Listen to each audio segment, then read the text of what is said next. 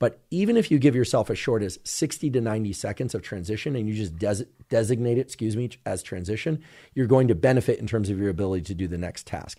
So to be very clear, if you were in kind of a light task or something that didn't have much cognitive demand, well, then the transition period can be fairly short. It can be just a couple of minutes.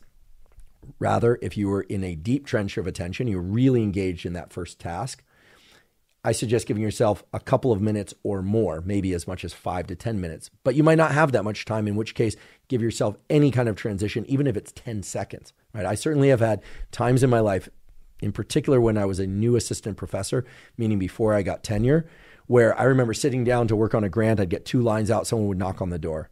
Hey, where are the whatever the 30 mil syringes? Where do we keep the buffers? Or, you know, where's the, you know, did we get this thing in? Okay. And then I'd have to shift my attention. I go back to writing and then be, you know, distracted by something else again, which is not to say that people were distracting me unfairly. It was simply the case that at that time, my life required being involved in a lot more things than it did as my career progressed, at least in the short term. So, the point being that if you are deeply engaged in an activity, give yourself a little bit longer in the transition period between them.